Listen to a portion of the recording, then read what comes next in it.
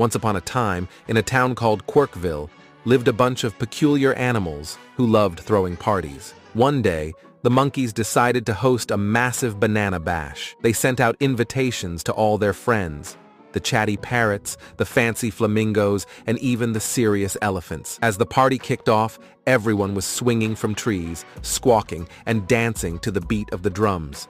Suddenly, the doorbell rang. It was the sloths who arrived. But in typical sloth fashion, they were incredibly late. The monkeys, trying to be welcoming hosts, ushered them in and handed them bananas. However, the sloths were so sluggish that by the time they finally got a grip on the bananas, the party was over, and everyone was heading home. The sloths looked around in confusion, holding their prized bananas and said, Did we miss the party? The monkeys laughed and said, You didn't miss the party, you're just in time for the after-party snack. And everyone chuckled at the sloths' slow-paced antics.